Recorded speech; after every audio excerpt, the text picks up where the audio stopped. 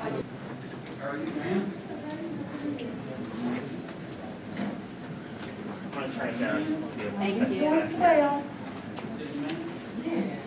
Ready to call this meeting to order? Well,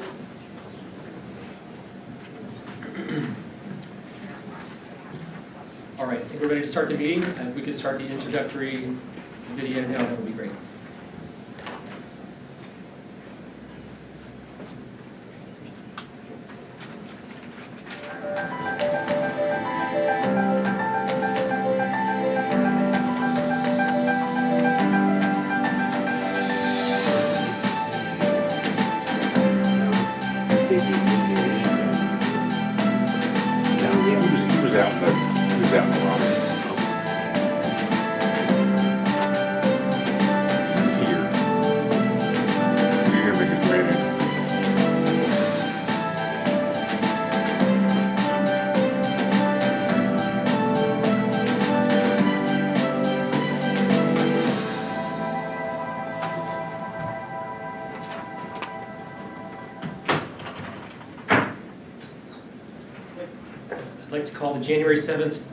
2020 meeting of the Buncombe County Commission meeting to order. Thank you all for being with us this evening. Let's begin our meeting with the Pledge of Allegiance. Please rise and join us in the pledge.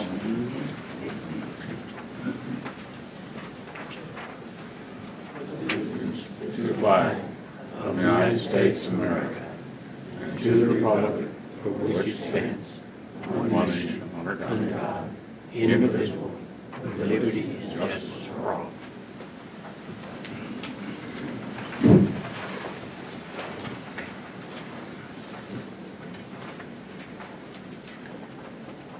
Earlier this week, 3,500 additional military personnel who are stationed at Fort Bragg in North Carolina were ordered to prepare for deployment to the Middle East. So before we begin our meeting this evening, I'd like to ask for a moment of silence to recognize these military personnel and their families, and during which time you may offer a silent prayer for the safety of all of those who are serving our country. Please join me in a moment of silence.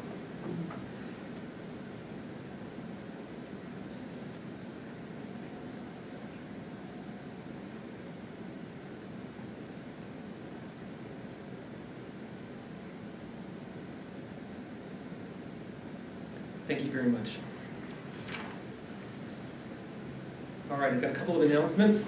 Uh, Want to announce that we have parking validation for any folks who are attending the meeting this evening who parked in the county parking deck next door or who or who utilized uh, the transit system to travel to the meeting this evening. You can get validation for parking or transit from one of the uh, officers who is uh, serving us here uh, at the meeting this evening. Please feel free to see them on on your way out. We read the ethics reminder to the board.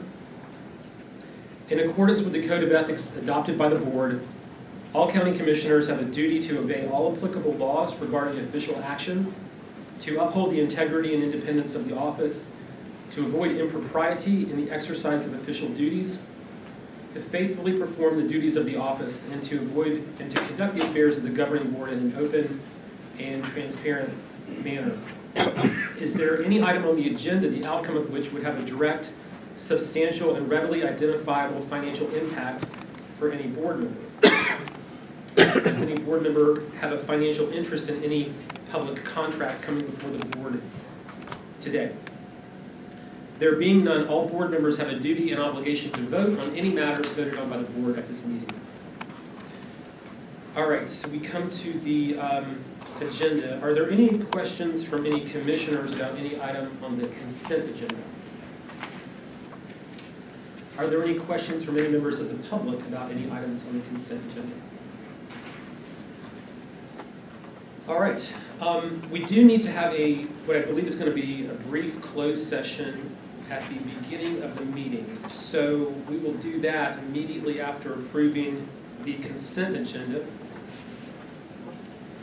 Are there any other um, questions about the remainder of the agenda? Is there a motion to approve the uh, agenda as published with the inclusion of a closed session following approval of the consent agenda? All in favor, please say aye. Aye. Any opposed? All right, Uh, Ms. Hockaday, could you tell us the purpose of the closed session?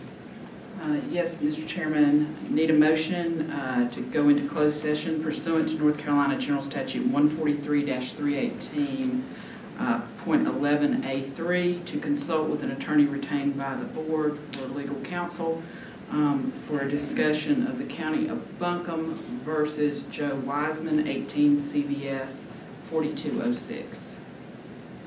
All right, is there a motion? All in favor, please say aye. Aye. Any opposed? Uh, I think this will be a brief closed session, um, so we're in closed session now, and we'll be back momentarily to resume the remainder of our agenda.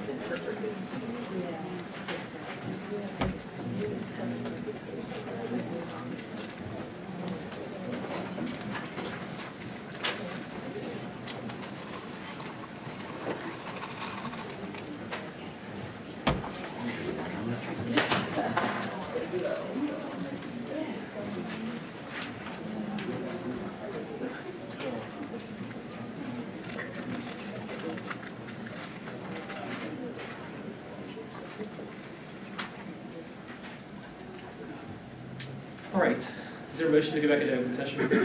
Second. All in favor, please say aye. Aye. Any opposed? All right, we're back in open session. The next item on our agenda is a public hearing to consider the Fernwood rezoning request. And uh, Josh Freeman is going to get us started on this item. Good evening. Max, if you'll pull up the presentation, please.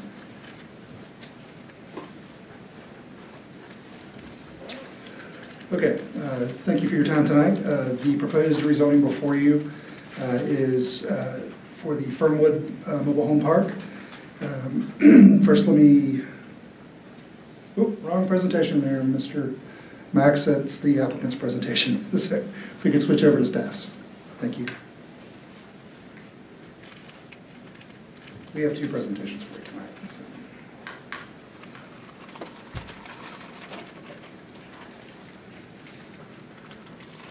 There we go. Thanks, sir. Okay, so before you tonight is zoning public hearing uh, uh, 2019-45. This is the Fernwood uh, zoning map amendment. Uh, The application before you was properly noticed in accordance with North Carolina General Statutes and Buncombe County Code. Um, In your packet, you should have before you uh, an ordinance to approve, should you choose to choose to approve, uh, as well as a resolution to deny, should you choose to deny this application. Your options, as always, in a rezoning are to approve as presented, deny as presented, or you can continue um, under guidance from, from uh, legal staff, uh, or you can remand it back to the planning board for further consideration. The applicant's information, uh, Mr. David Day of LCV Venture LLC is the applicant. Uh, The current owners are uh, Mr. John Carpenter, David Holdridge, and Paul Murray. The property is located off Charlotte Highway uh, along Fernwood Mobile Home Park Drive. This is an image of the subject properties. I believe there are four properties in total uh, on the west-hand side of Charlotte Highway, uh, just across the street from Hemp Hill Knoll Road. 6.39 acres in size.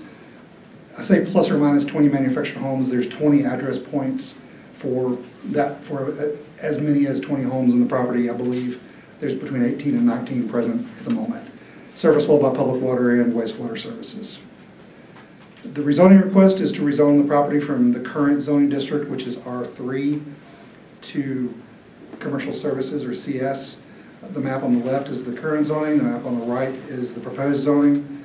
As you can see, there is commercial services zoning across the street, uh, across Asheville Highway uh, from the subject property, so this would be a contiguous rezoning, it would not constitute spot zoning. Just a brief summary of the two districts. R three is your, is your highest density standard residential zoning district. It allows a fairly broad range of residential development types, um, primarily intended to be concentrated in areas where there's water and wastewater services.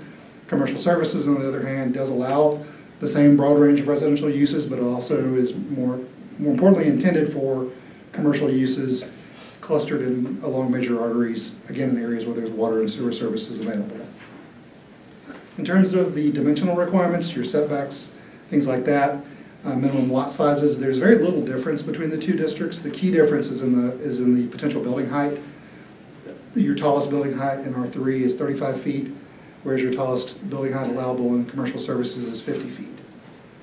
Um, A Couple of views of the properties from various angles, so you're looking north here. You're looking west. Looking south. Looking east. In terms of uh, land use plan analysis, uh, this is one that hits, kind of, scores points on both consistency and inconsistency. Um, It is within reasonable proximity to major transportation corridors served by uh, water and sewer infrastructure. Uh, It's outside elevations of 2,500 feet or greater. On the other hand, it does contain some limited steep slope areas on the western side of the property. Uh, Some moderate to high hazard slopes, although those are largely kind of in transition areas, say along a roadway where you're, where there's a a cut bank or a fill slope uh, related to the- the road access to the property.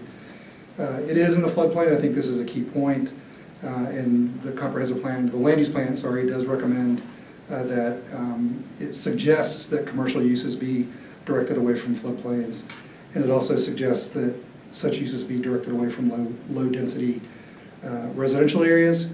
From staff's perspective, this is largely compliant with your, with your land use plan, um, specifically for the three reasons listed in blue. It's outside of high elevations, it's near services, it's along a transportation corridor.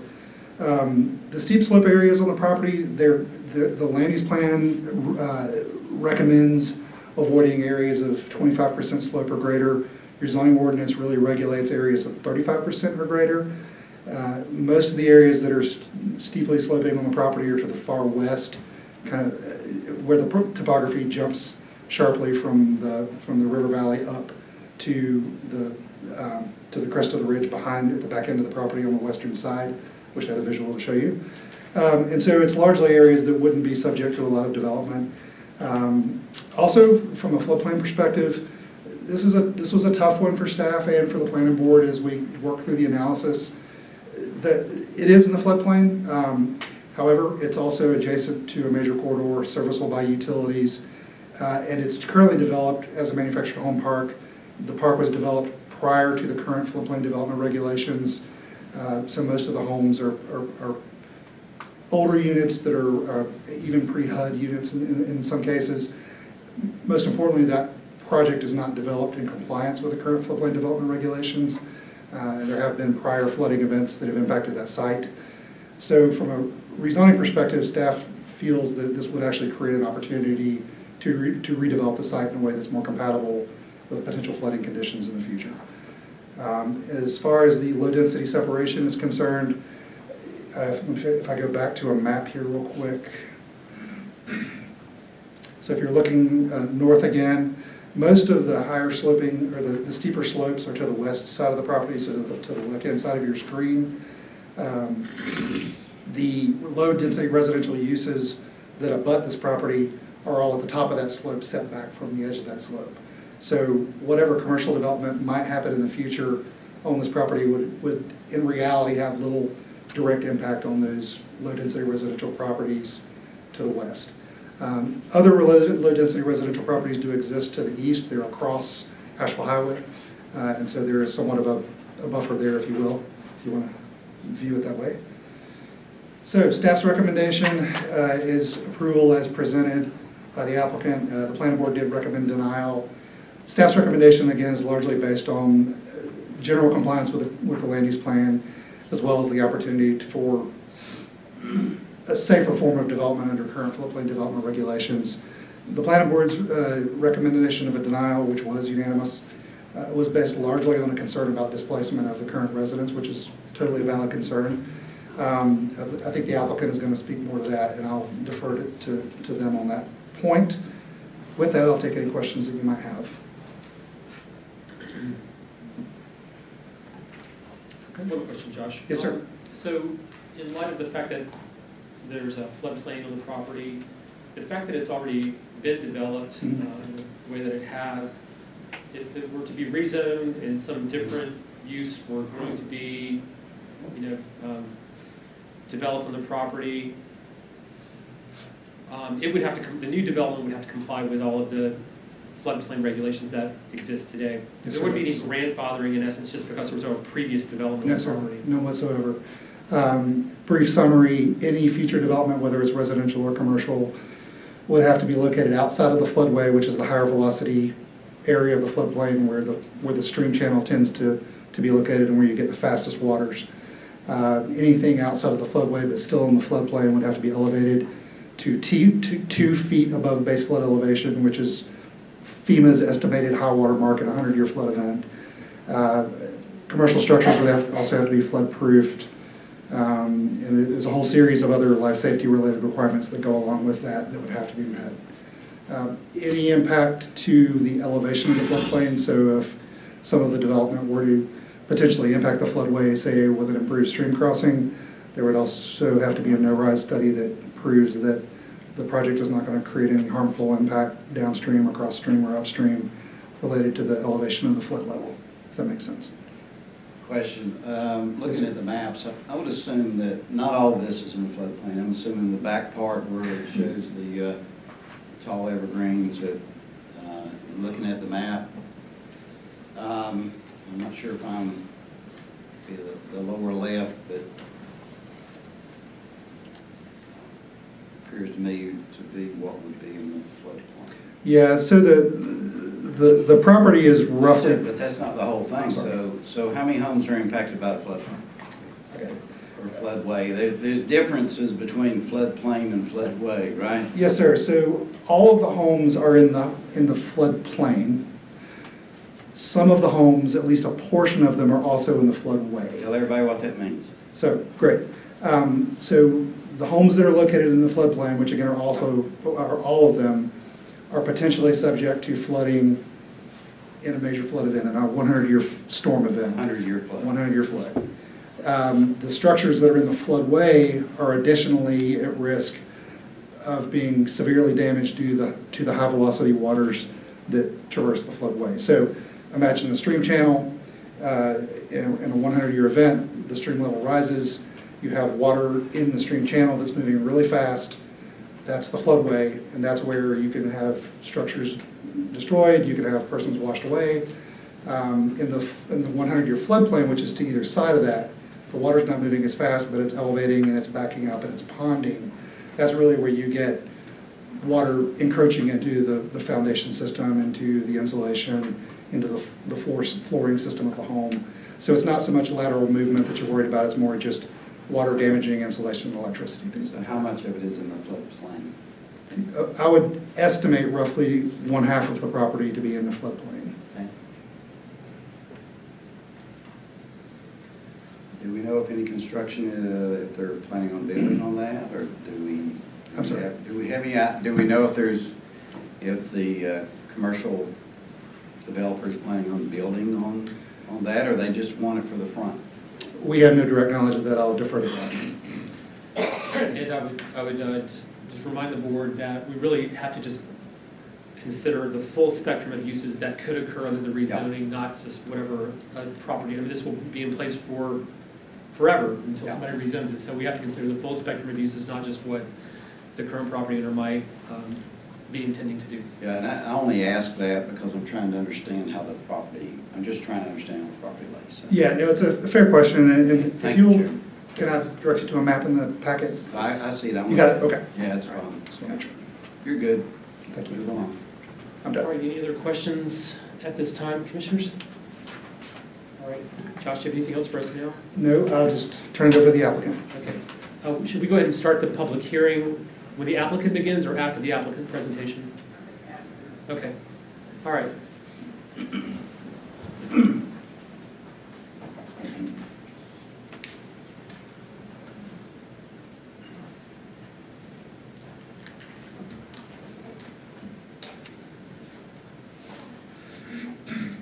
Could we get the other presentation queued up?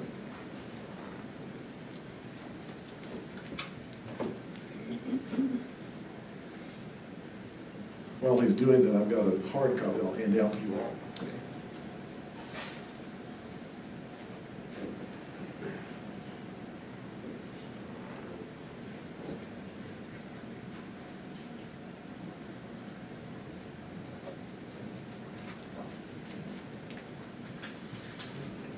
That's, that's the one.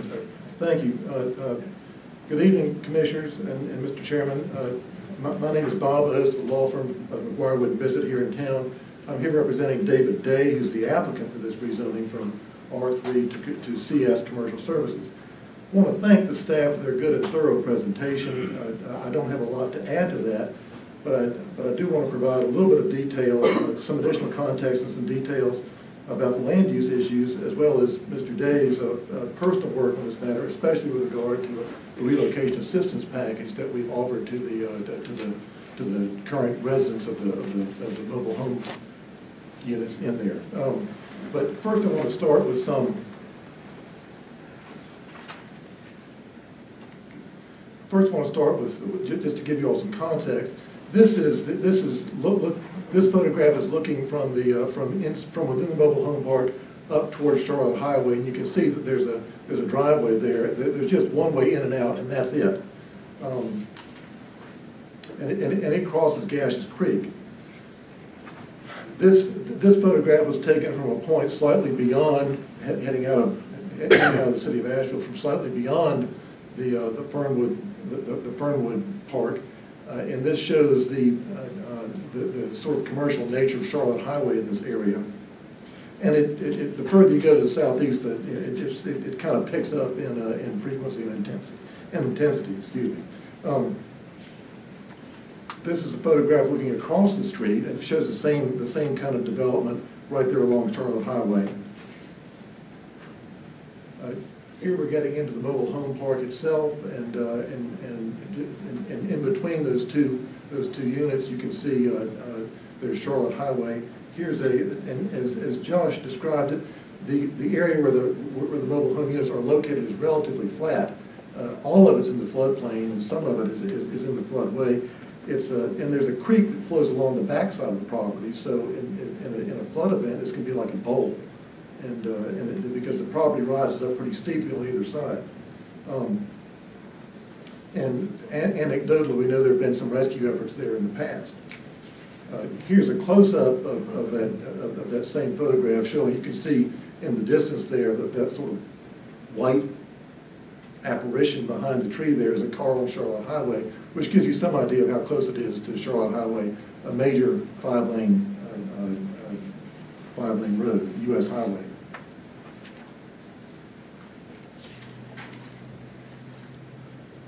As far as some of the zoning for the, uh, zoning, as far as some of the planning justifications for this action that we're requesting, I, I looked a little bit at, at, uh, at your comprehensive land use plan, and one of the strategies in there is to adopt zoning for the county that coincides with the land use areas depicted on the proposed comprehensive land use plan, which is map twelve of your twenty sixteen plan update.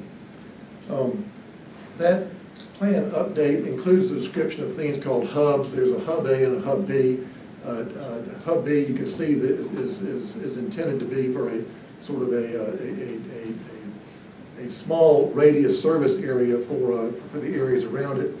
Um, This is a, is a photo, is a detail from the 2006 land use plan map, which is map number 12, the proposed land use map, and it shows a hub B, which is the blue dot right there closest to Asheville. Uh, And, and that's the approximate location of the Fernwood Mobile Home Park. And that's designated in, in the, uh, in the 2006 land use plan as a, as, as, as a hub B, which is appropriate for commercial, uh, for, for commercial uses.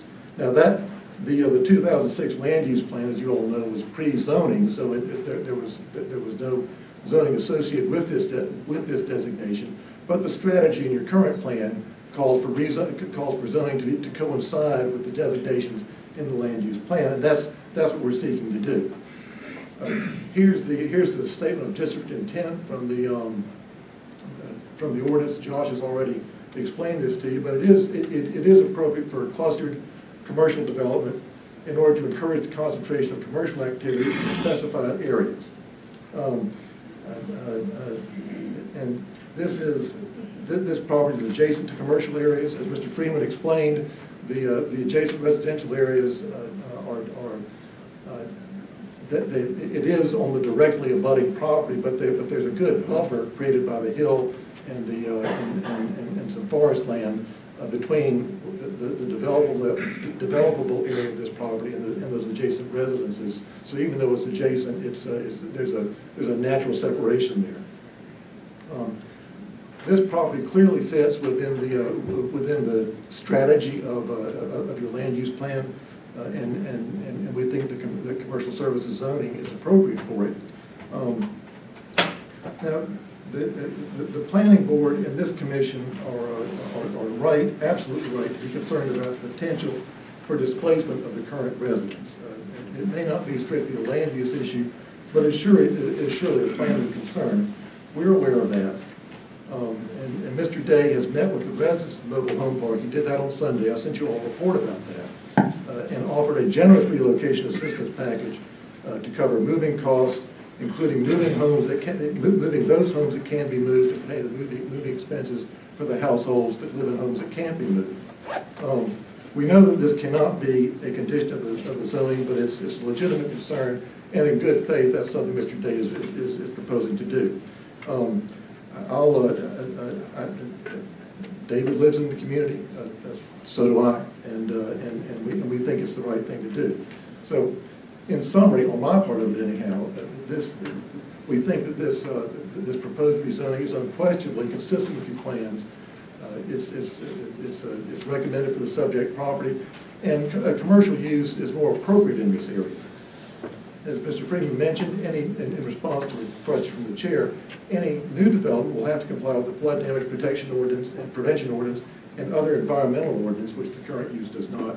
And, and we think the relocation assistance available to current residents will address the, the, uh, uh, the- the, many of the concerns about displacement. So we'd ask for your support, and, and I'm gonna turn it over to Mr. Day, who can explain a little bit more about his interactions and, and, uh, and, and work with the residents. So Mr. Day is, is from this area, he's, he's a a contractor and developer.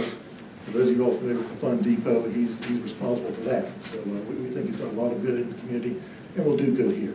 So I'll turn it over to Mr. Day, unless you all have any questions for me. Doesn't look like there's any at this time. Okay, and of course, we'll both be here uh, uh, after his presentation and after the public hearing. All right, thank you, Mr. Rose.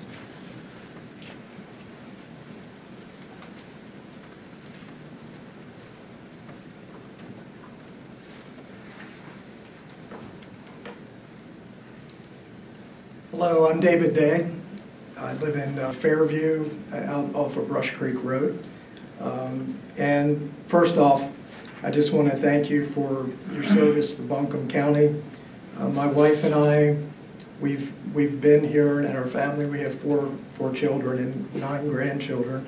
We've been here 30 years in Fairview and the Reynolds community, and um, we love our community. Um, We're very active in it, and we really want the best for it.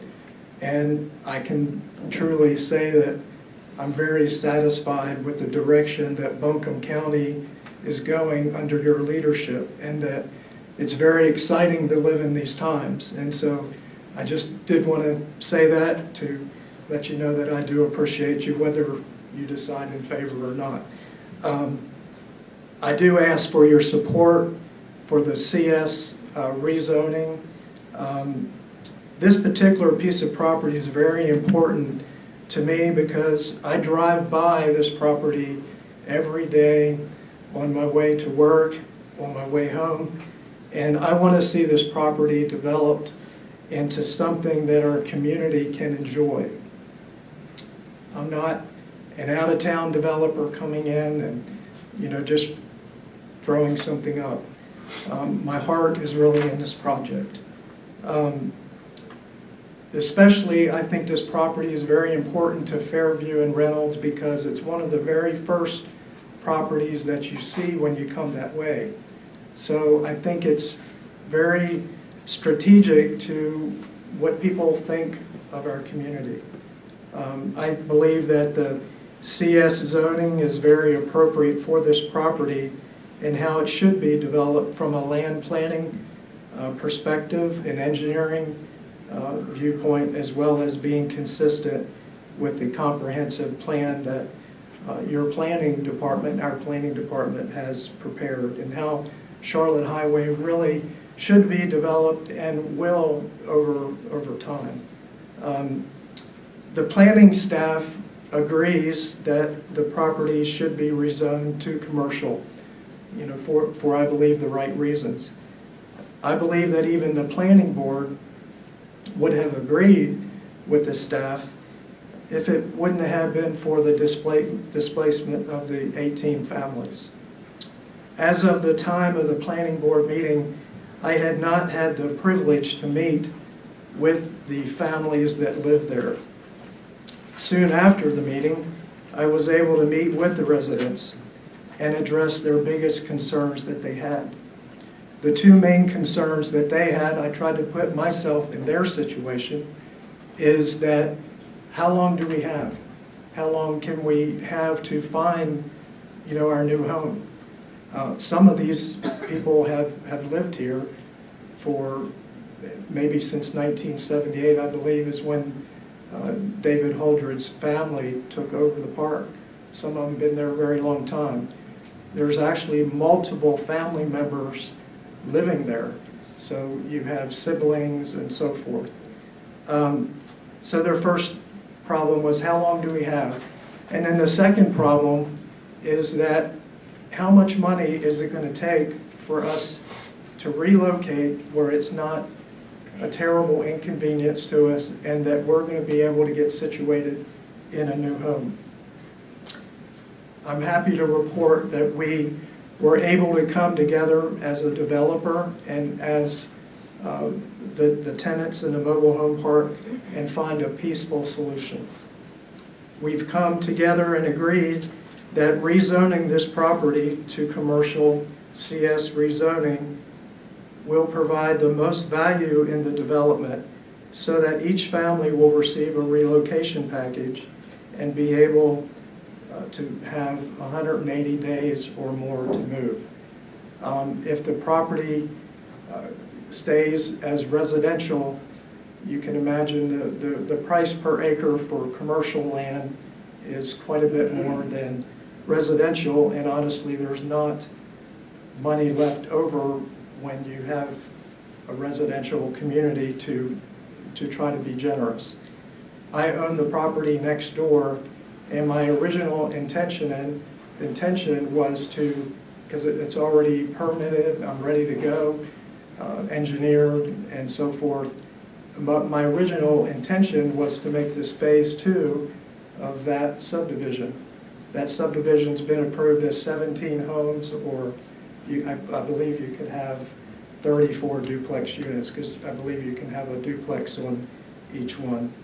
So I was going to continue the road that was already been approved into this subdivision, but as we got into it, I really believe that the best use is commercial.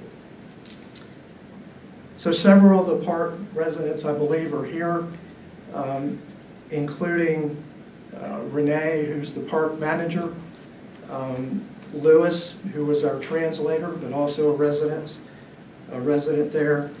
So I, I encourage you, if, if any of them, you know, if you have any questions, to ask them.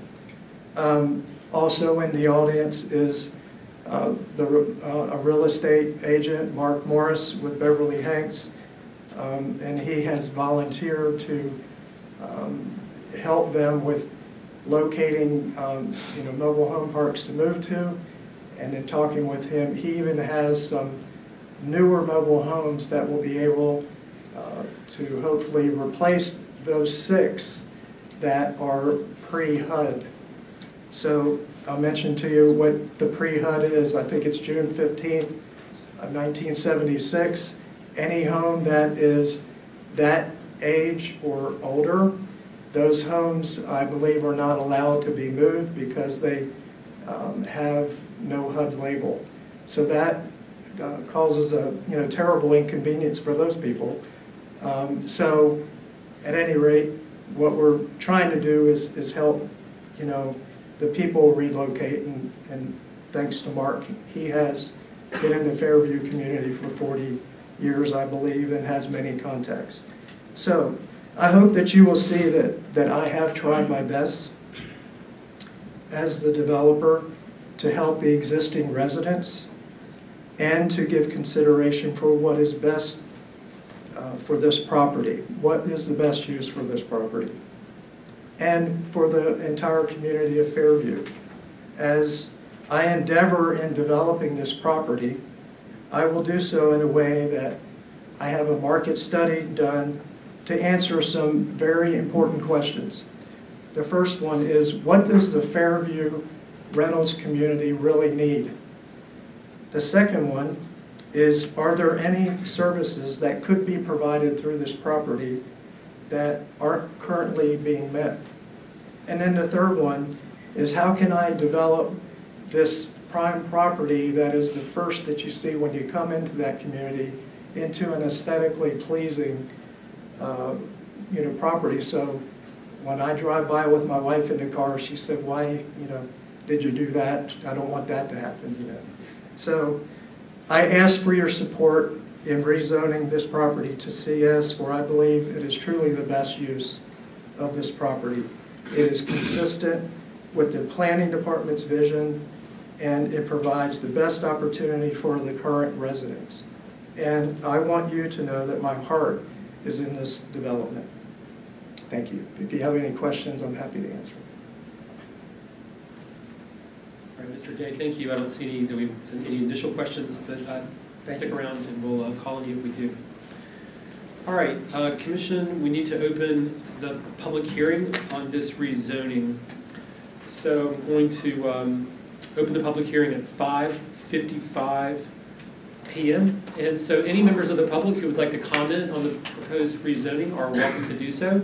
Uh, We would just ask you to come up to the uh, podium and just let us know your name and where you live, and you'll have three minutes to um, comment, and you'll get an orange light when I think you have 30 seconds left, and then a red light when your three minutes are up. And when your time is up, we ask you to please stop, because we want to give uh, everybody the same amount of time to, to speak to the board. All right, is there anyone who would like to um, comment on the proposed rezoning? Yes, ma'am.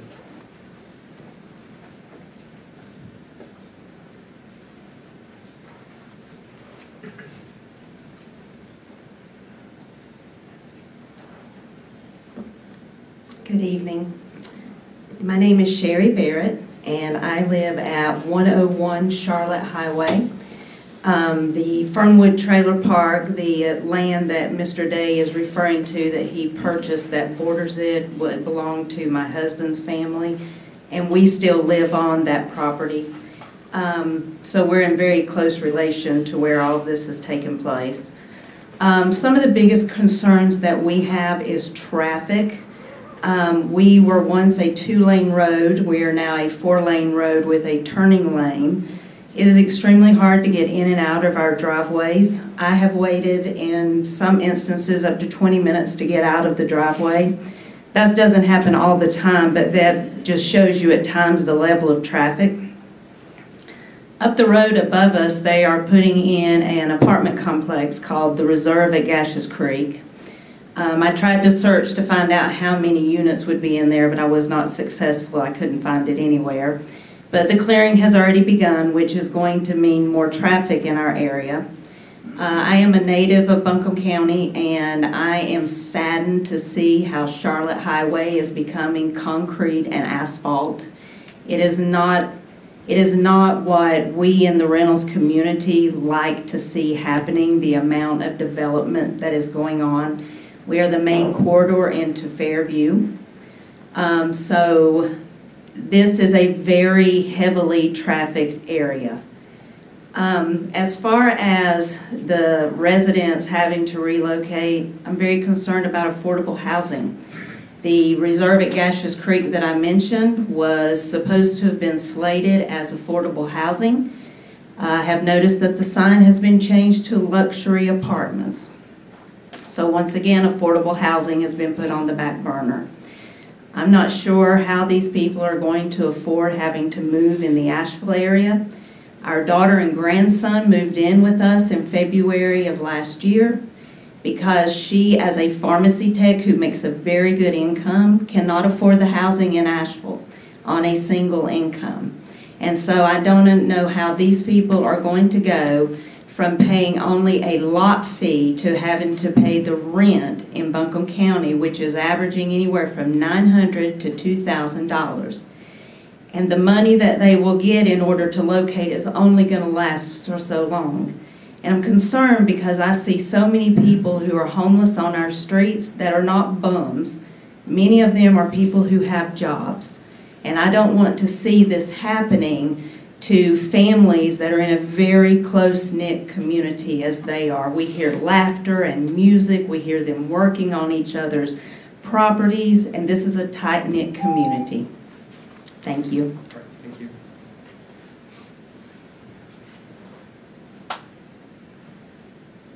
All right, anyone else?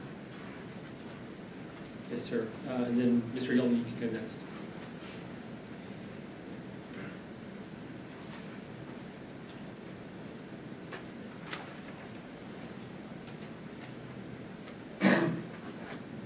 Hello, my name is John Thorpe.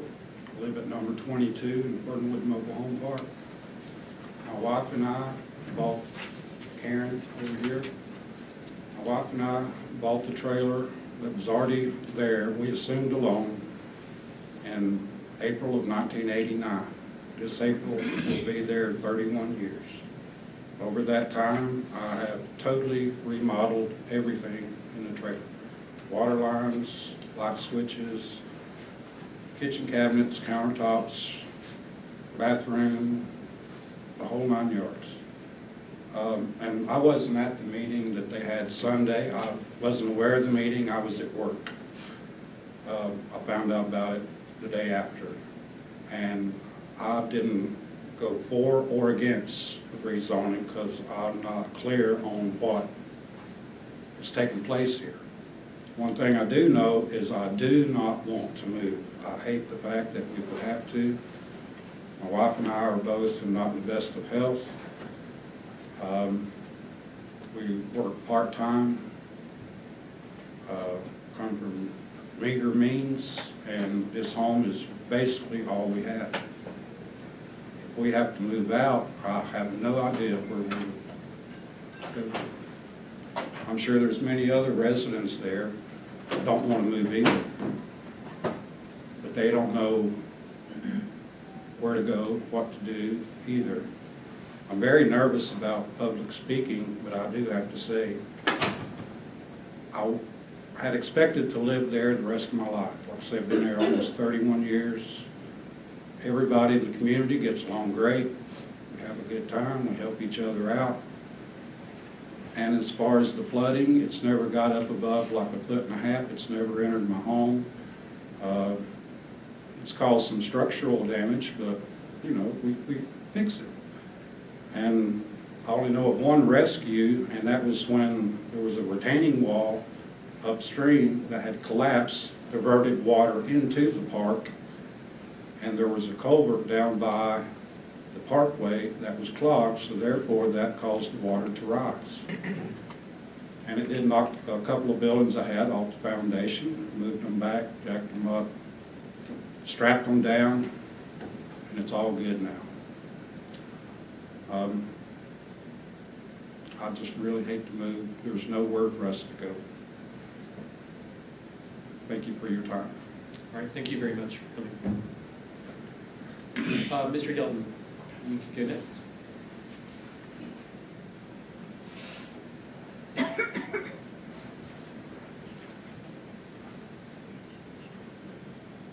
What I have to say is not about the relocation or the moving, because I think you heard it. Most people don't want to move. That's why a lot of us locals will fight to stay where we're at. We'll fight to the bitter end, me being one of those. But as I hear these conversations, I see that we pass laws in one center that has to apply throughout the county. And we've got mobile homes that are in the floodway. Now, as development occurs upstream in the floodway, and people fill it in to raise their structure above the floodway, what's that gonna do to the level of the flood in the mobile home park, folks? It don't take a college degree in environmental science to know exactly what happens. It's raising the water level. So the hundred-year floodplain that the government gives you is at best a guess that is not modified and changed each year as more building occurs in the valleys. And all you gotta do is look at the city of Asheville. How many houses have been built in valleys, Al, where there used to be a valley that would soak up water? So all I gotta say, and I told this to a big developer out there, when he put his parking lot in, I said, don't put a culvert in. Put a concrete, drop it down like this, let the water flow over it, elevate it like this, so the water pushes the concrete in the ground, and when it's flooding, guess what? You can't get in or out. But what happens when it quits raining? You've got no damage. So I don't care what happens here in this park. I just think that we need to provide the technical expertise to minimize the flooding. And if this development is approved, then there should be no building in the floodway. Don't fill it up high, because you're creating more flooding downstream. Now, if there's any way to develop it and move those mobile homes out of the floodway, up to that place where they don't flood, you may have a solution to your whole problem that might even work. So all I'm saying is, think beyond what you're seeing and hearing. Because folks, you're not gonna stop the rain. I don't care how you feel about climate change. You can't control the rain or the flood. You have to work with it. And Kmart, Walmart should have been done the same way, and I made that recommendation at the city council pre-meeting, and of course, it fell on deaf ears. But I'll keep saying it till you all listen or I die. And I got a feeling I know which will occur first. Thank you. All right. Who else would like to speak? Yes, sir.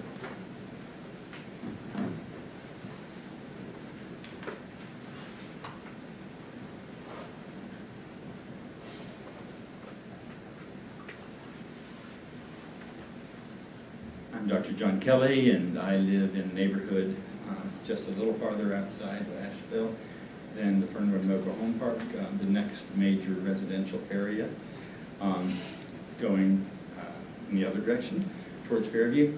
So we have a concern there because we have a bridge over the high, the uh, waterway that leads to the highway. That's our only way in or out.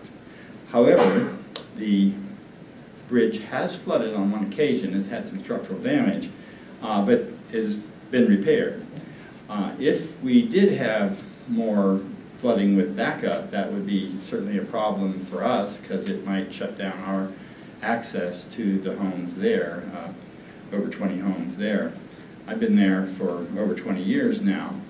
Uh, I do I certainly agree that we are developing more and more of a traffic problem. I have also waited quite a long time at times, uh, particularly on the weekend, like Friday afternoon, it starts getting very heavy. Uh, so I think we would be in for some accidents there if there was not a traffic light. Uh, I- But I do agree the major problem is trying to relocate the people that are already there is going to be quite difficult in this uh, economic climate. So I think we do have to consider our neighbors in that way. The uh, idea of more development, as the gentleman previously has mentioned, uh, is probably going to impact uh, such that, you know, the 100-year uh, flood is going to be more like the 25-year flood. And we've already had some evidence of that uh, in our neighborhood. So I think most of the residents in our neighborhood are not eager to see this without very careful planning as far as future flooding, highway access, uh, where we don't put other people at risk. I thankfully have a car that can get out in traffic pretty quick, but I have to use that turn lane to pull into, and I don't think that's really what's intended. Uh, I think it's supposed to be turning off the highway, not turning into the highway. But sometimes that's the only way to get out, and for being a medical professional, I do need to get out, and, uh, you know, can't always, you know, wait till the very optimum time. So I just think we have to be very careful about making this plan and, and consider all the participants. All right. Thank you, Dr. Kelly. Uh, Mr. Rice in the back.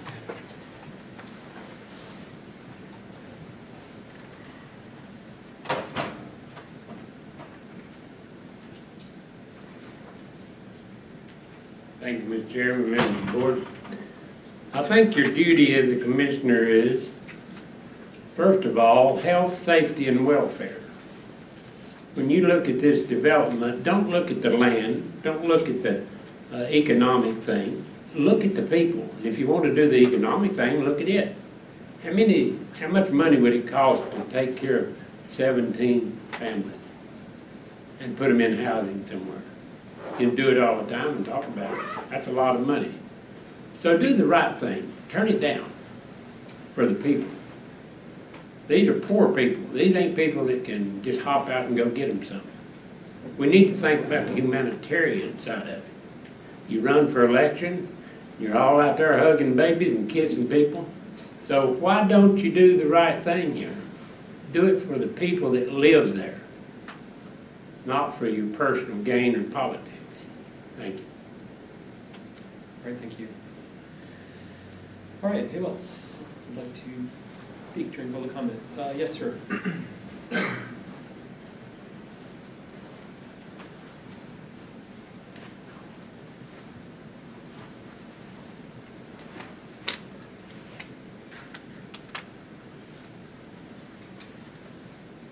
My name is Mark Morris.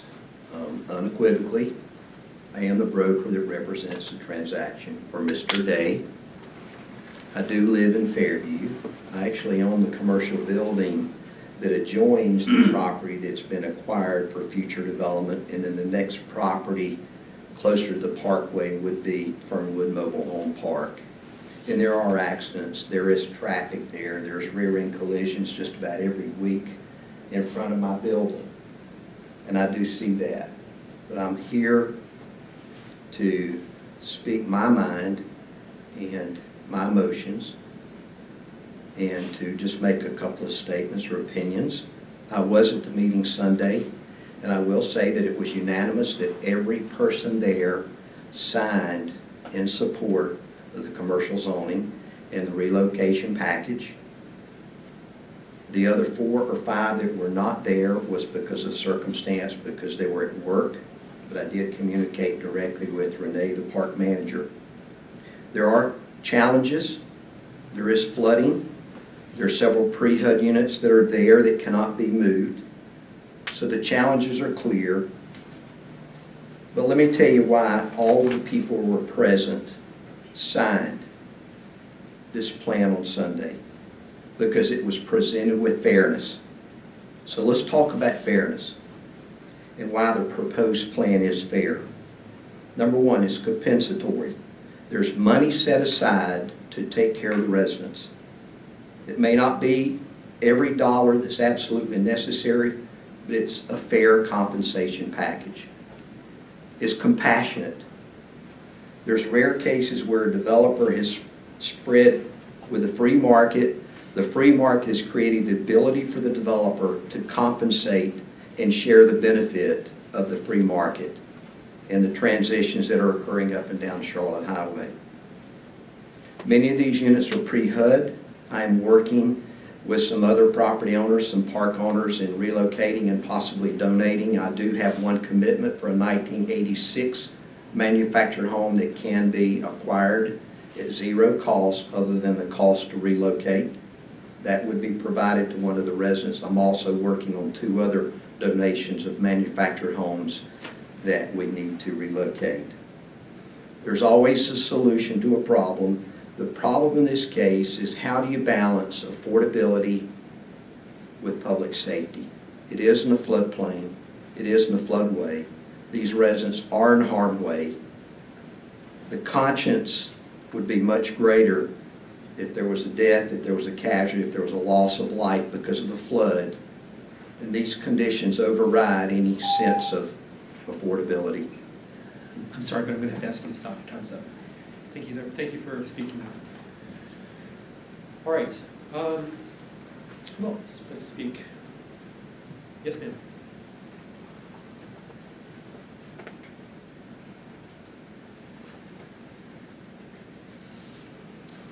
I'm Renee Hensley. I live in Lot 20. I'm not good at this. I've been in that park since I was six years old. I'm 53 now. We've had only three incidents that I know that it flooded. The water's gotten up, you know, quite often, but not out of its banks. I feel like that people actually want us gone from there because they think mobile homes are an eyesore. We actually have a, a good-looking community for the most part. My father used to live, they lived there before he passed away, and he used to keep the, the road on the highway mowed and looking good all the time. And now there's another gentleman that's took that over since he died. And most of our homes in there that can be moved are in their 80s. Most parks don't want that old home, they want newer homes. So, the, again, we're stuck trying to find a home to live in. And affordable housing is not affordable in Asheville, not for us. That's all. Thank you very much. All right, um, anyone else?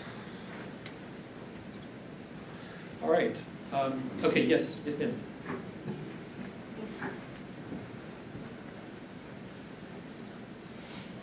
My name is Rose Anderson. I've lived in Asheville about 10 years. We live in the neighborhood Charlin Forest, which is behind the mobile home park. And I'm very concerned for these residents. Uh, in fact, my whole neighborhood is concerned for these residents. There's four or five of us here from my neighborhood. Um, they're a quiet mobile home park. Uh, there's no drugs, no drama there. They're nice neighbors. We, we are happy to have them near us. And affordable housing in Asheville is, it's not there. Um, I guess you guys know that. Um, the relocation package these people have been offered, maybe y'all should ask them what that is. I understand it's not very much. Um, the residents maybe could answer those questions a little bit better because I wasn't at the meeting. I've only heard it secondhand. But I hear it's anywhere from $2,500 to $6,000. And um, you can't even pay first and last month's rent for an apartment for that. So uh, that, that, that's just not going to cut it in, uh, in Asheville. So I, I just wanted to say that um, I feel like uh, we need to vote for people to have homes, and these people need homes. Thank you. All right, thank you, Ms. Anderson. All right, is there anyone else who would like to speak before we adjourn the public hearing? Appreciate everyone coming out. Want to hear from anybody who's got anything they'd like to say. But if there's not, I'm going to adjourn the public hearing at 6:16 PM. All right, uh, commissioners, um, are there any questions at this time? Or a motion? I have some questions. You might not be able to hear me. I live in Fairview too. 53 years. It's a long time to live there. I lived there when it's two-lane road. I've been there for 30 years. The five-lane road, you know, turning and stuff, that doesn't bother me. I get out where I live. A lot of traffic, I make it out easy. But the affordable housing part, Mr. Day, I wish there's something that we could do because that's 18 homes. They may not be the best homes, but they're homes. I don't know what you're paying for the property, and I don't really care. And she's right. I used to come up through there, and every week there'd be grass real high at the end of the guardrail. And you've been driving it too, and the grass was cut all the way up to going into the entrance, above and up on that hill. And I thought somebody is really taking care of this, taking care of this. You're damned if you do and you're damned if you don't. I understand that.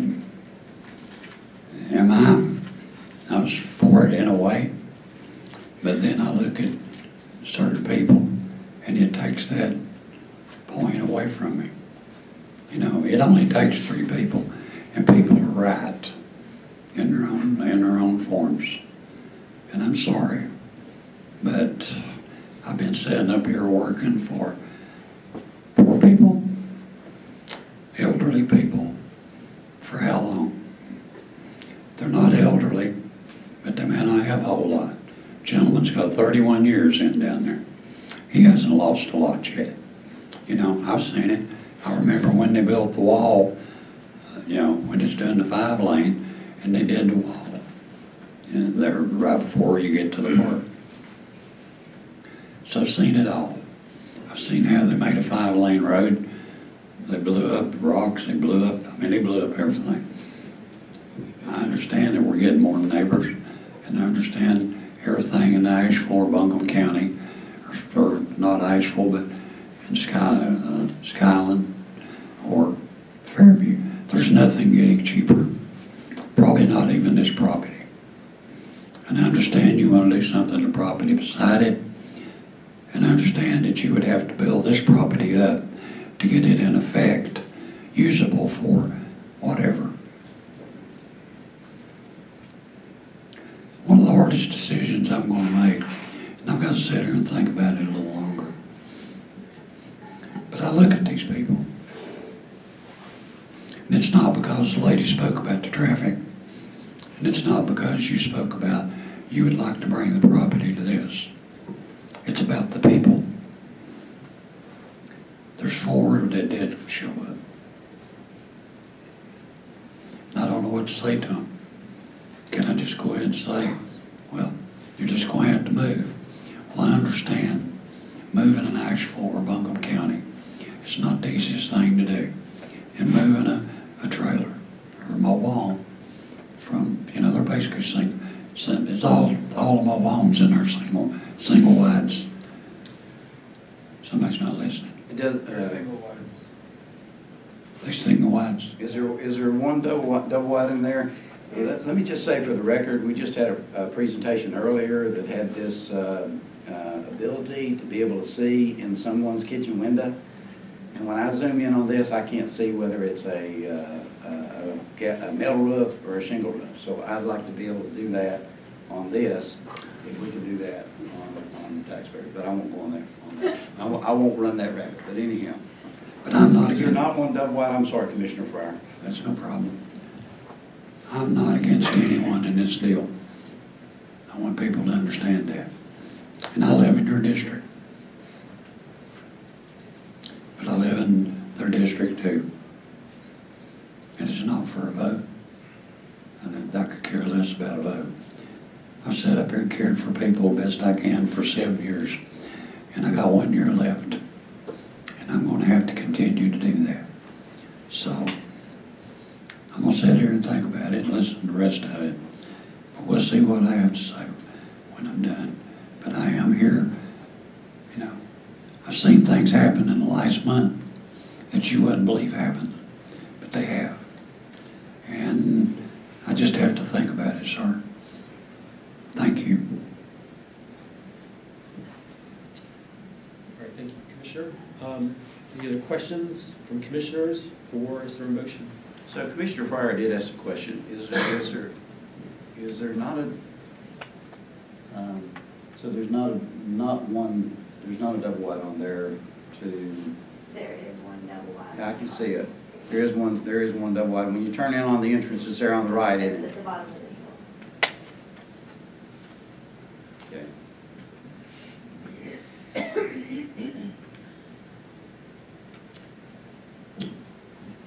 Uh, Mr. Belcher, have a question or further comment? Well, I- I'll, I'll make, I'll make a few comments. Um, So,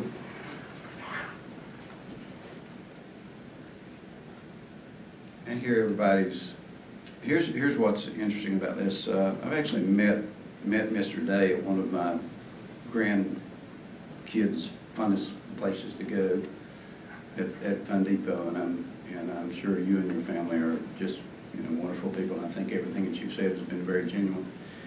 Uh, Also know that to, and I'm not gonna make my decision based on what I'm getting ready to say, that um, when you have a home and you own a home, and you open the door to that home, it's, it's your house.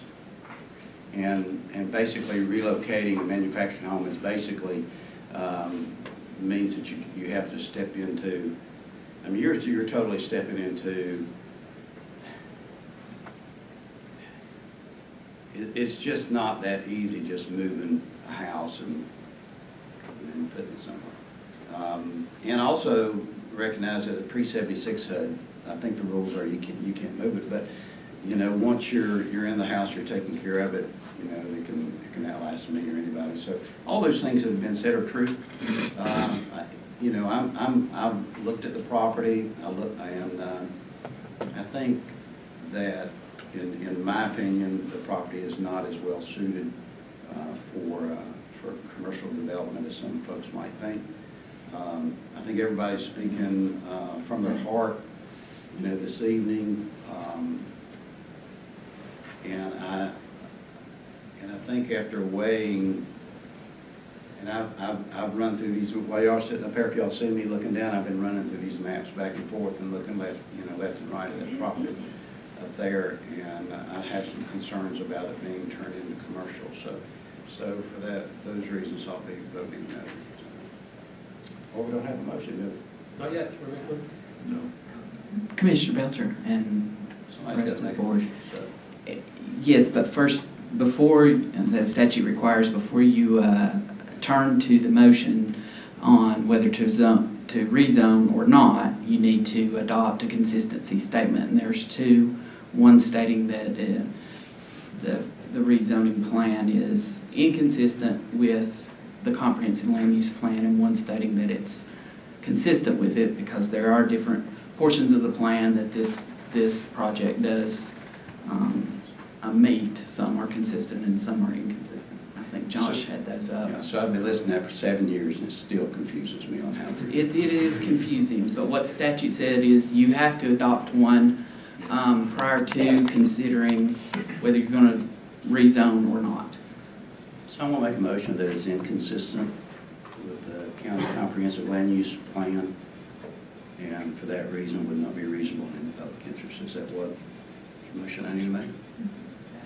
I just made it. That is a motion you could make. All right, with the motion and second, further discussion? All in favor, please say aye. Aye. Aye. Any opposed? Would you like to follow-up motion? I don't know what motion to make. I mean, what do I do? There's a resolution to deny, in your package, to deny, and there's also an I'm not being ordinance Silly for those of you that to- are out there, it's just kind of confusing, I want to make sure we do it right. So where is the resolution? Look under the words deny, uh, There it is. you see it, Is that it, Chairman? Choose one, one. Uh, Let me just, I'll jump in. Just Um. I'll make a motion uh, to approve the resolution denying a request to amend the official zoning map of Buncombe County uh, on the proposed property. To deny the rezoning, yes. Yes. I second. All right, further discussion? Uh, All in favor, please say aye. Aye. All those opposed to the motion?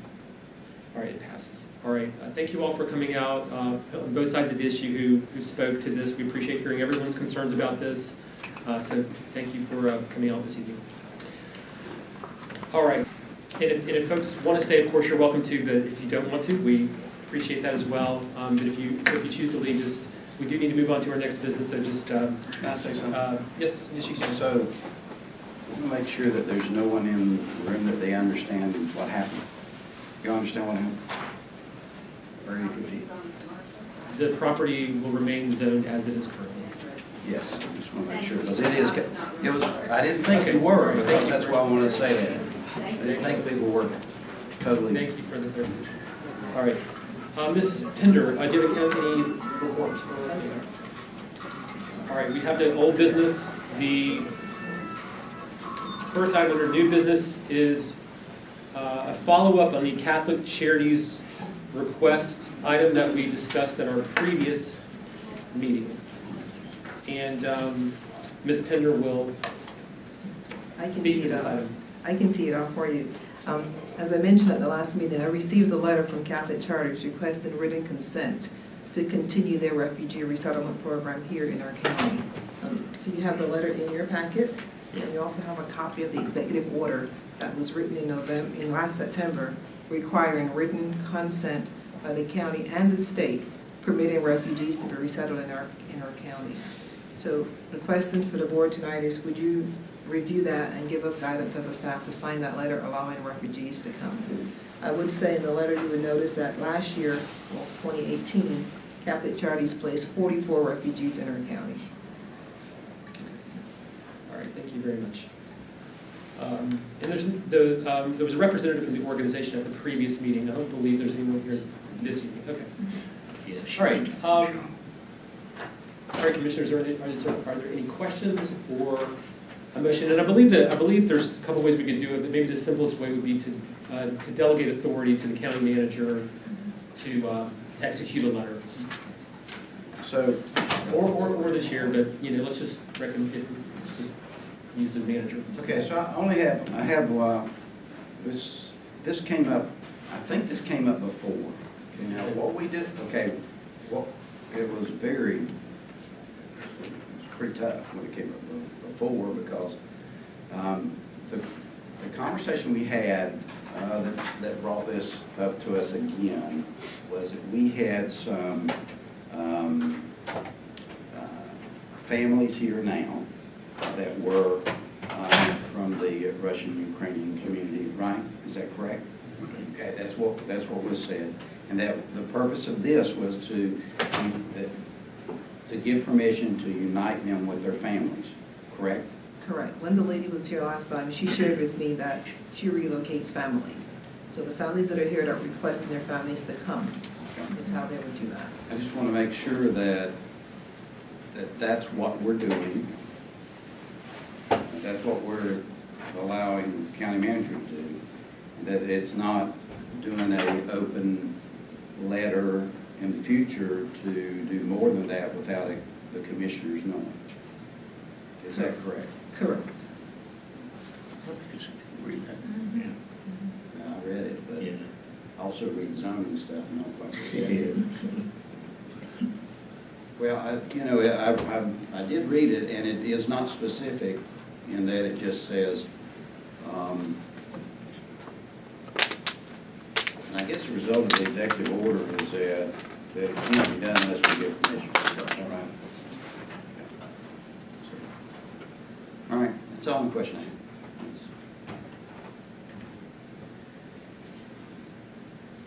Anyone want to make a motion? I'd like to make a motion that we authorize the county manager to enter into the extended partnership.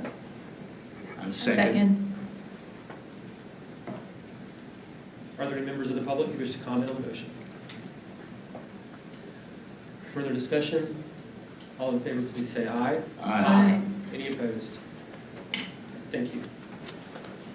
All right, and the next item is a budget amendment for the Governor's Crime Commission grant. And Rachel Nygaard and Jennifer Barnett will share some information with us about this one. Thank you, and good evening, Chairman and Commissioners. Um, Actually, if there are specific questions related to the grant um, contents, Diana Sierra, who is the um, program... Yes, thank you, Family Justice Coordinator, is present to answer those questions. Um, But we bring before you this evening a budget amendment request, um, which would additionally, if you approve the budget amendment request, would enable us to um, receive the grant award.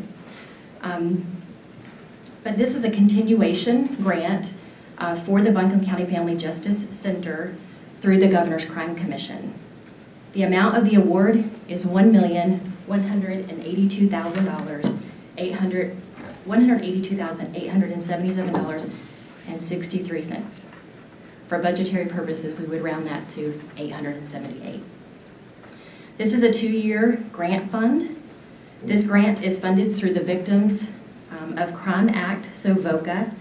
Again, it supports the continued services um, that are already in existence through the Family Justice Center, um, through partnerships with our, the existing agencies that are already housed with the Family Justice Center. Um, It is funds in support of nine contracted positions through those organizations uh, to provide comprehensive trauma-informed programming for victims of domestic and sexual violence at the Family Justice Center. It will additionally fund travel and registration for on-site partners to attend the National Family Justice Center Alliance Conference, where they receive training on domestic violence, child abuse, sexual assault, and elder abuse in the context of the Family Justice Center model and accountability to survivors. The required 20% local match is met through the in-kind donation of office space um, at the Family Justice Center and um, with the Family Justice Center coordinator's salary. So the request is to um, enable us to budget both the expenditures for this two-year grant award um, and the re- and to receive the revenue. If there's any specific questions of- about the grant. The question I have is, this does not commit us for anything after two years. And That's- these are contract employees. That is correct, and they're actually not contract employees for the county. We actually engage in a contract with the partner agencies who are housed at the Family Justice Center, and they employ the individuals.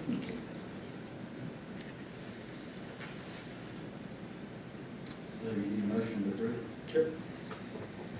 Move approval. Second. All right, we have a motion and second to approve the budget amendment. All in favor, please say aye. Aye. Any opposed? All right, thank you very much, and thank you to everyone who's worked on continuing to uh, uh, make this a really successful program and to secure these uh, additional funds. It says a lot about the, um, says a lot about the work we're doing here. All right, we have, um, on the board appointments,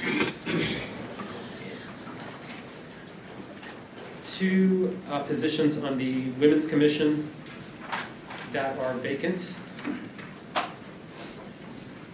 These are the only two, two applications we got? Correct. Well, that makes it easy. I'd like to nominate uh, Claudia Jimenez and Nora Sheff to join the Women's Commission. All in favor, please say aye. Aye. Any opposed? All right. We now come to um, public comment um, about any other items and. Excuse me, Mr. Chair. Oh, Can I just mention one thing? Yeah. Um, At the last meeting, um, we talked about interviews for the Greenway Parks and Recreation. So I want to make sure that um, we mention that and see if y'all have decided on the interview time frame. yes. And we, and this was in 2019, so we said that we would possibly try to do that in the first few weeks of January.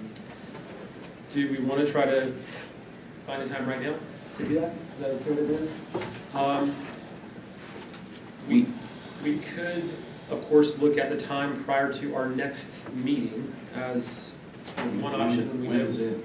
That's going to be on Tuesday, 21st. twenty-first. Um, we do have a specially called housing committee meeting that day, right? Did we talk about that at the committee meeting today? Um, but uh, do we know how long that's gonna last? No, we don't. Um, Or if we could, I mean, if we could plan on keeping it to, I'd kind of like to do it on that Tuesday, we're gonna all be here, so why don't we, why don't we, um, How many, how many are, are we interviewing? How many? uh, it's gonna take a couple of hours, for sure. I think there were at least double digits. I think it was around 12 individuals. Do we have to do a briefing? What do you mean, a briefing, Well, there's an agenda briefing with commissioners. that- the pre-meeting? Pre-meeting, yeah, pre-meeting. We- I think we're gonna need to um, either not do that or make it shorter and move it closer to the regular meeting time so that we, because I think we need that afternoon to do interviews. Is that, would that be agreeable to, um, everybody? that same day? Okay. Well, why don't we say this, why don't we have our housing meeting from one to two? We'll do, we'll do interviews, we may not get through all of them though, we're just gonna have to look at the time, so we don't have to do all the math on that, um, on on the spot, but why, why don't we just plan on everyone being here from two until the regular meeting starts, and we'll, we'll see what all we can fit in those three hours. Can we move our affordable housing meeting earlier? I would be open to that. I'm, I'm fine with that. Why don't we do that from eleven to twelve? Let's do The it. staff's okay with that? And then we can start Yeah, that at would one give o'clock Yeah. with interviews, and hopefully we can get our, uh, we're gonna review, do a review of, um, uh, our clerk and our finance director that afternoon. Mr. Chair, Yes, uh, sir. we'll just get with Lamar, we will adjust the, uh, the, the publication in terms of the time for the, um, The housing. Affordable Housing Committee meeting itself. Okay. So we'll Is make this that one we happen. were- Is this one we were gonna bring in the outside folks on? No, that's a Okay, separate meeting. Great, Thank you. very good. Yeah, I'm good with that. So Lunch, let's just do that. um, yeah, I think if we're gonna be starting that early and we have a meeting before, so that people don't have to leave and go find food, that's probably a good idea.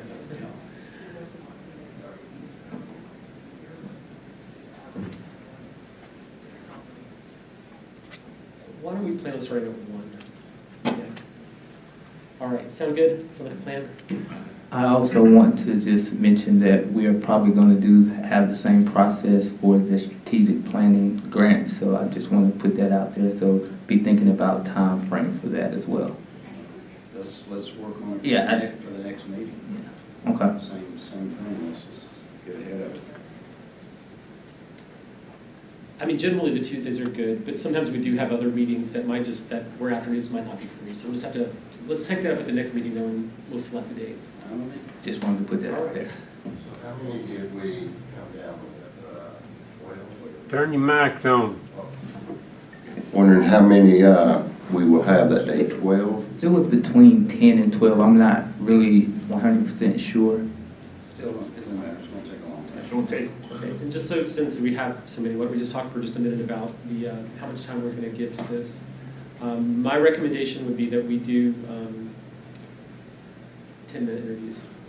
That we allocate ten minutes for each, for each interview. I know that's not a lot when we have this many, you know, I think you just, um, if you have additional questions, you can always call folks, speak to them outside this process, but in terms of the group interviews, it will still be two, at least two hours for this purpose. And that would be, um, that'd be my suggestion. What do uh, others think? You don't have a timer? Yeah, yeah. I think we just try to give everyone the same amount of time. Yeah. We're just gonna need to keep it focused. I think if you, And, um, if you do, if you do ten minutes for the interview, you're probably okay. But, you know, everybody's shaking everybody's hands, you know, I mean, if you, if you give them ten minutes, you hit the button, they got ten minutes, that's fine. All right, As I'll get as the it's for the interview. All right. Very good. All right, now we come to public comment. So uh, if there's any folks who would like to speak to the board, please uh, feel free. You're going to have three minutes. Mr. Yelton, you can go first. And you've got three minutes. Uh, Let us know your name, where you live. Uh, When you get an orange light, you've got 30 seconds left. And when the red light goes off, the three minutes is up. And we ask that folks conclude then, so we give everyone the same amount of time. I don't even think I'll use my three minutes tonight. Boy, if I don't, I'm slipping up. I always time it perfectly. Um, I'd like to know where in Buncombe you don't have a traffic problem. Simple question. Where in Buncombe don't you have a traffic problem? You've been on twenty-six of a morning coming in at seven thirty? You're stopping at Newstock Road or the other side of that because if they have had a bump up at Newstock Road, it backs up to Weaverville. I remember Ken Bagwell on radio one time says, oh, we won't have no problem with traffic in Asheville. When you're building apartments all over the place, you're advertised the number three place in the nation to rent. Come on, all you rich folks. No wonder we got traffic problems, because half those cars have got Florida license plates, New Jersey license plates, Georgia license plates, and we talk about affordable housing. Folks, if you drink water in Asheville and flush your commode, you're subsidizing public housing. If you want to know how that's done, see me after this, because I won't tell the public how that's done. But it's done. And every time you give 2.2 million to HUD or to Habitat for Humanity, where does that money come from? Us. All of us in this room, you plus everybody that should be out here. And every time you do that, what are you doing to the cost of housing?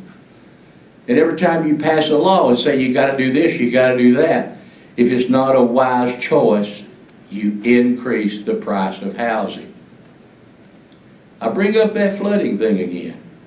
I'd like to see this guy come back with this and say, we're gonna redo this whole thing, we're gonna take this, we're gonna put a commercial area next to it, and then we're gonna find a place for those seventeen homes and cut a deal with a mobile home dealer that's probably up there on the board that would find some real nice used homes, and he sets up a nice little community right next to where there's a bunch of jobs, and some of those people might have better jobs, but you know what that's called?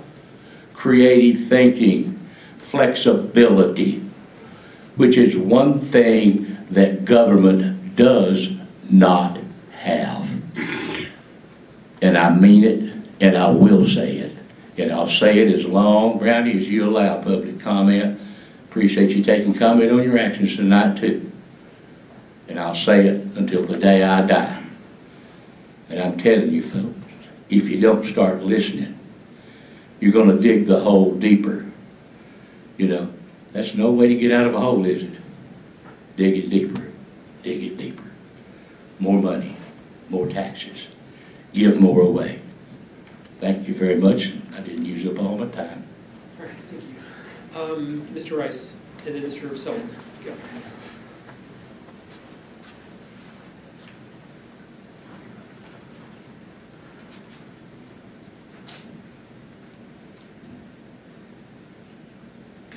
Thank you, Mr. Chairman, members of the board. That's my boy Don. You know him? He's really good. He ought to be sitting up there and, and taking some of you down. Uh, I'm getting a head start, Don. You need to help me out now. You need to help me out.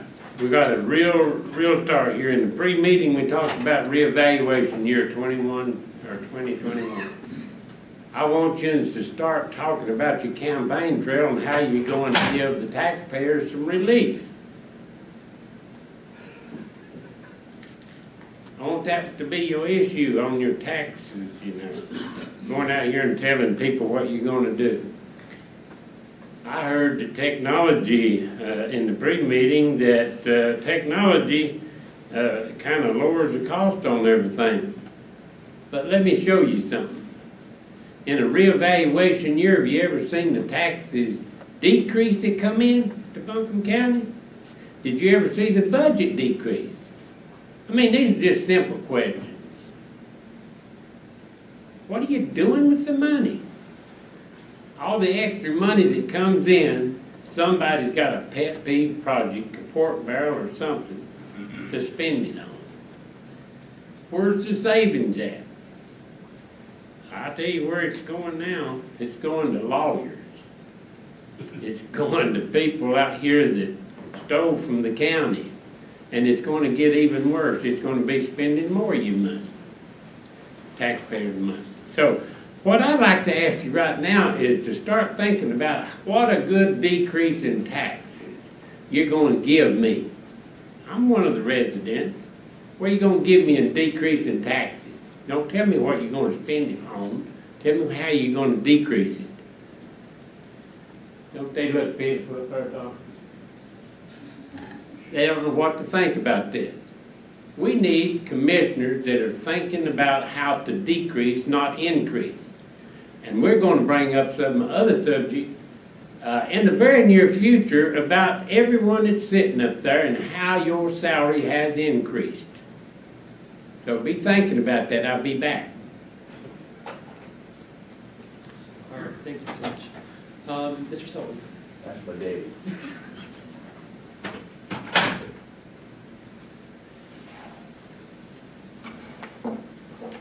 Mr. Chairman, a member of the board, uh, my name is Andrew Selwyn, and my partner and I own a small retail store just a few blocks from here. I live in the Riceville section.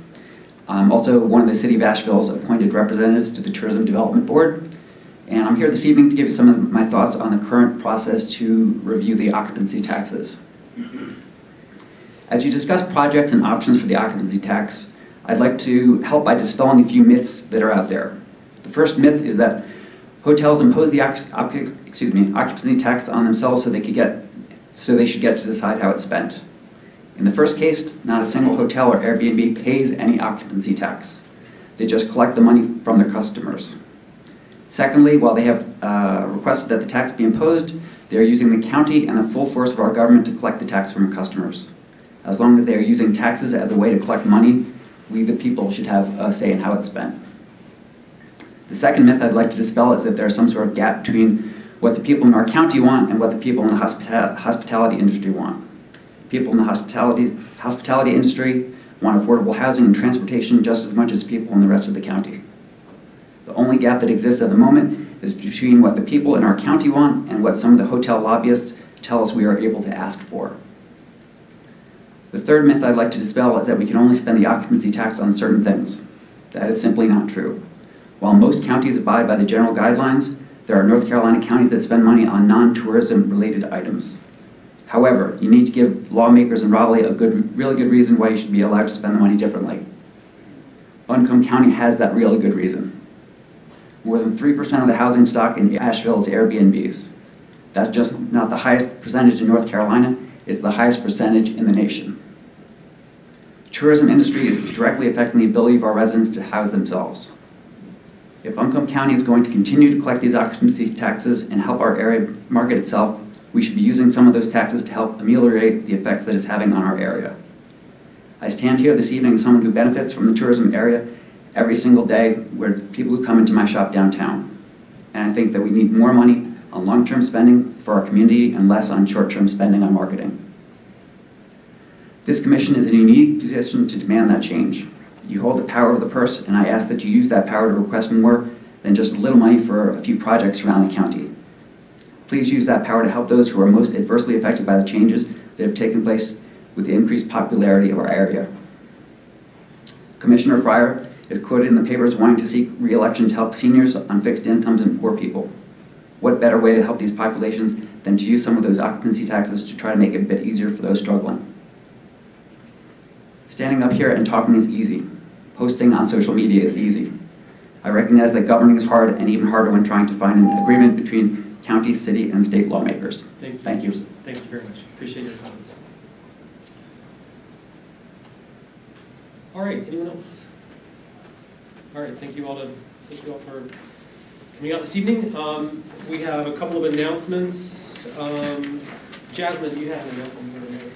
Yeah, I just wanted to let everyone know that this Thursday, January 9th, the Early Childhood Education and Development Committee will be having a community outreach meeting. Um, that'll be from 3:30 to 5 p.m. at Dr. Wesley Grant Senior Southside Center at 285 Livingston Street. Uh, Commissioner Whitesides, Vice Chair Presley, and myself will be there along with members from the committee. The goal is to meet with community members, answer questions, um, and help people uh, get a lot information about the ongoing application process. We hope to see folks there. All right, thank you very much. And on January 21st at 3 PM, actually, we just said we're not going to do this. Never mind.